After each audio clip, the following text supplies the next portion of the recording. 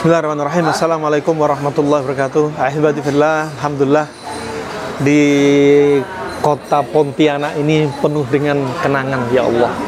Setiap tempat kita singgah ya Ada cerita sendiri. ada cerita sendiri ya.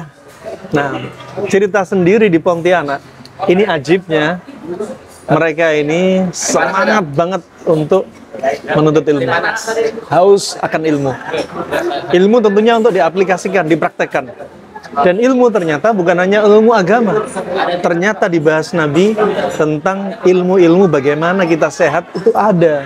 Kadang tersirat, tersurat dalam ayat, dalam hadis Nabi SAW, wasiat juga para ulama. Dan ini menunjukkan Islam nggak ingin penganut Islam apa celaka gara-gara makanan, celaka gara- gara-gara minuman, sampai diajarkan ada makan, ada minum dan lain sebagainya. Buat teman-teman yang hadir di sini, masya Allah, lihat semangat kajiannya plus nyatet, masya Allah. Gimana biar tubuh sehat? Ada sebenarnya yang perlu kita contoh dari para pendahulu kita.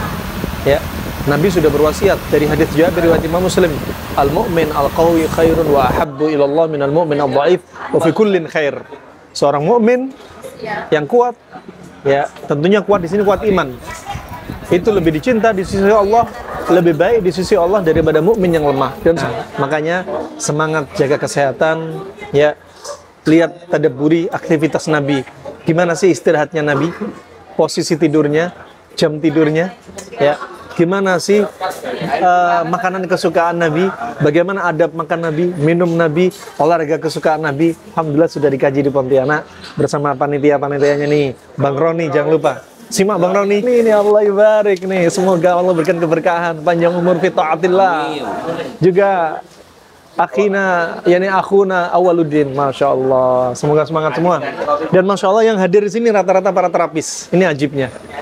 Di Pontianak banyak terapis dan terapis ini juga berdakwah. Ya, mereka selain terapis fisik juga terapis hati, insya Allah.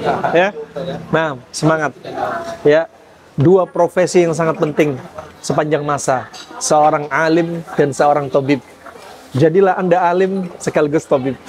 Semangat. Assalamualaikum warahmatullahi wabarakatuh.